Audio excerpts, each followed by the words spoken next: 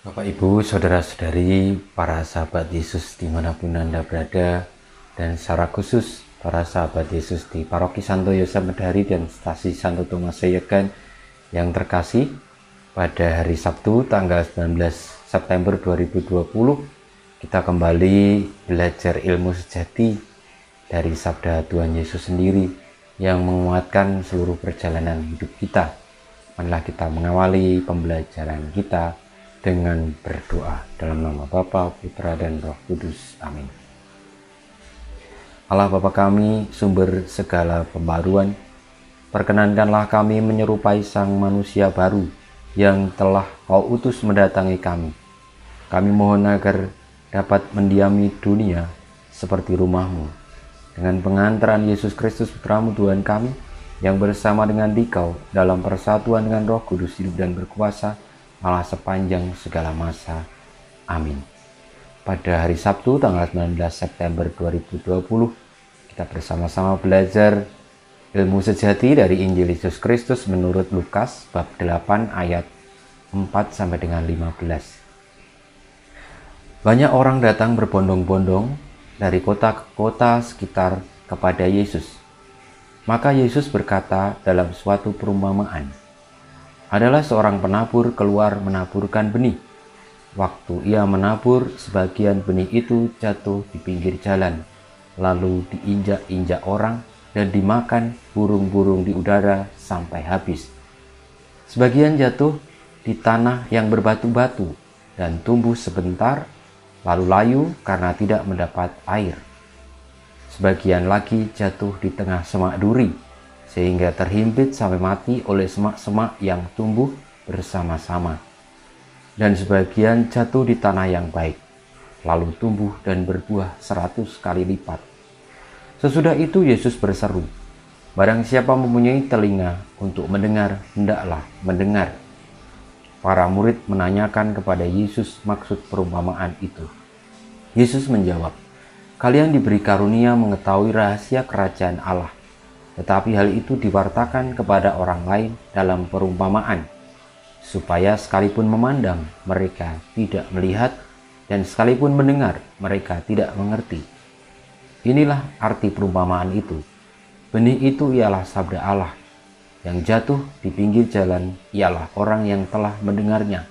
Kemudian datanglah iblis, lalu mengambil sabda itu dari dalam hati mereka, supaya mereka jangan percaya dan diselamatkan. Yang jatuh di tanah yang berbatu-batu ialah orang yang mendengar sabda itu, menerimanya dengan gembira, tetapi mereka tidak berakar. Mereka hanya percaya sebentar saja, dan dalam masa pencobaan mereka murtad. Yang jatuh dalam semak duri ialah orang yang mendengar sabda itu, dan dalam pertumbuhan selanjutnya mereka terhimpit oleh kekhawatiran, kekayaan, dan kenikmatan hidup, sehingga tidak menghasilkan buah yang matang. Yang jatuh di tanah yang baik ialah orang yang mendengar sabda itu dan menyimpannya dalam hati yang baik dan menghasilkan buah dalam ketekunan. Demikianlah Injil Tuhan kita. Terpujilah Kristus.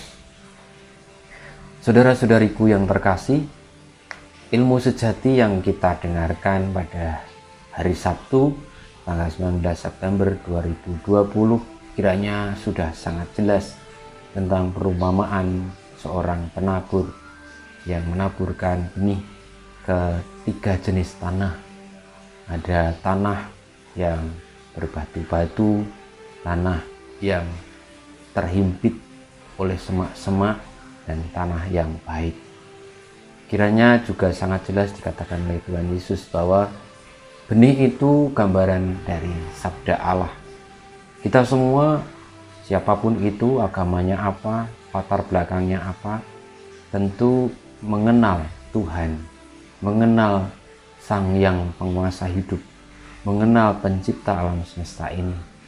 Dan itulah asal muasal kita dan tujuan hidup kita.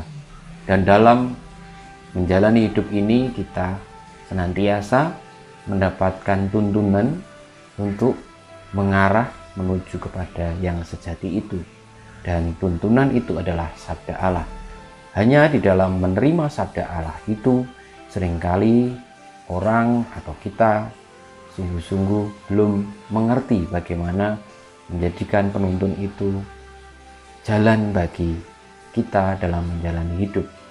Maka kalau tadi Yesus mengatakan barang siapa mempunyai telinga hendaknya mendengar, barang siapa mempunyai mata hendaknya melihat, itu lebih kritikan kepada kita supaya kita semakin akrab mencintai sabda Tuhan, tuntunan yang sejati dan melaksanakannya dalam hidup sehari-hari.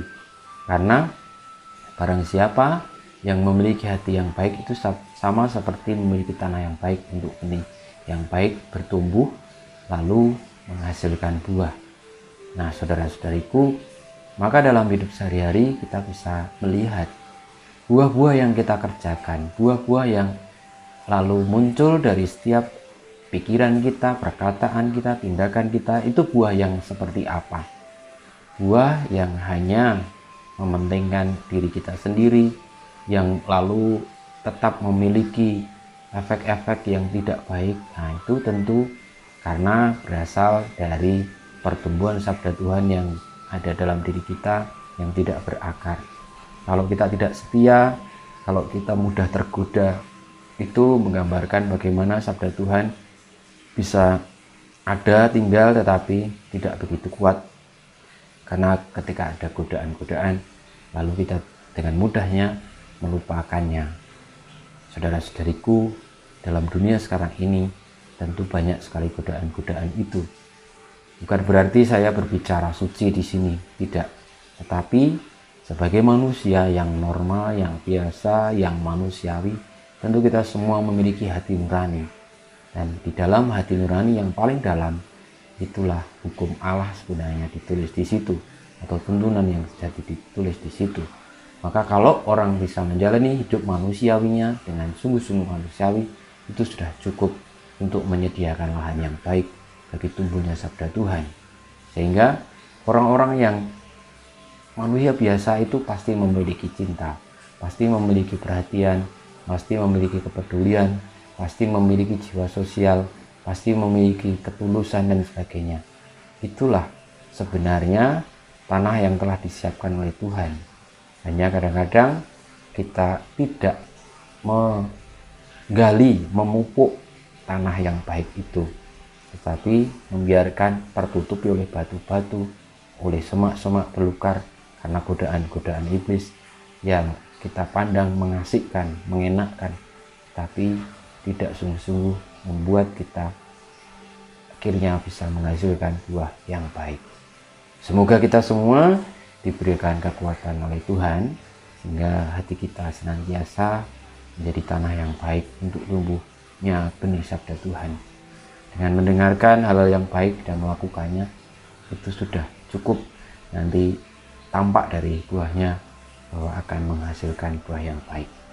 Ya sama kalau kita mau melakukan yang baik tentu ada orang yang mengatakan satu niatnya baik lalu dua caranya baik yang ketiga hasilnya juga baik dengan demikian kita boleh untuk tetap setia menjadi anak-anak Tuhan yang bisa menggunakan matanya untuk melihat menggunakan telinganya untuk mendengar dan belajar ilmu sejati sampai pada kesejatian kita mohon berkat Tuhan Ya Yesus, jadikanlah hati kami seperti hatimu. Kemuliaan kepada Bapa dan Putra dan Roh Kudus seperti pada permulaan sekarang selalu dan sepanjang segala abad. Amin.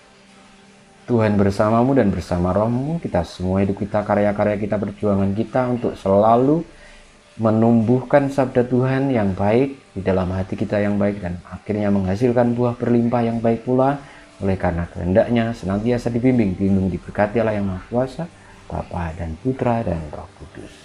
Amin.